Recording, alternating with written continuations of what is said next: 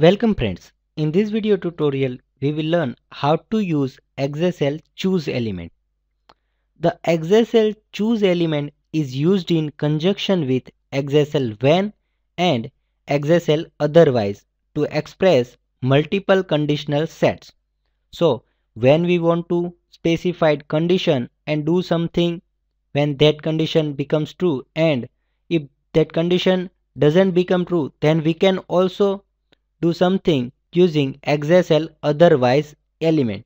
So XSL choose is used for this purpose. So now let's see how to use XSL choose. We have retrieved data using the XSL for each element. Now I want to filter this data. So I am writing XSL choose After writing XSL choose, I have to specify condition using XSL when and write test. Here specify condition based on which you want to filter your data. I want to give price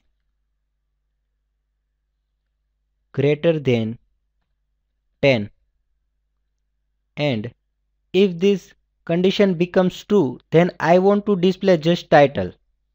So I am displaying just title in this block which is the when block. When condition will become true it will just display title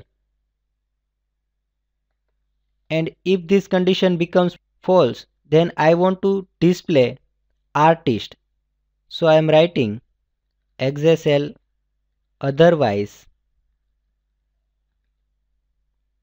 and write the block which you want to execute when condition becomes false. I want to display artist when this condition becomes false. Complete the otherwise and when block.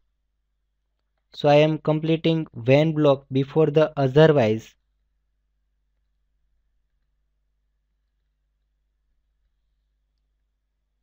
and XSL otherwise.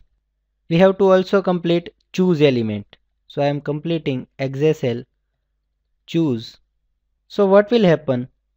When the price of CD is greater than 10 then for those item only title will be displayed. Price less than 10 for those item only artist will be displayed. Now let's run this.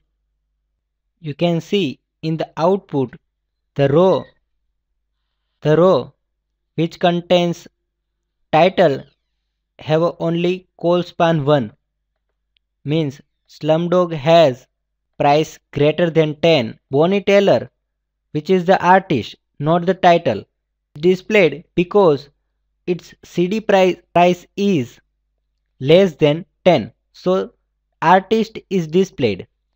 Artist is all these which have colspan is equal to 2 so we can see Dr. Hook, Rod Stewart, Percy Sledge, all are the artists which have price less than 10 and One Night Only, Still Got the Blues, Dog, all are the titles which have price greater than 10. So this is about how to use choose conjunction with when and otherwise element. Thank you.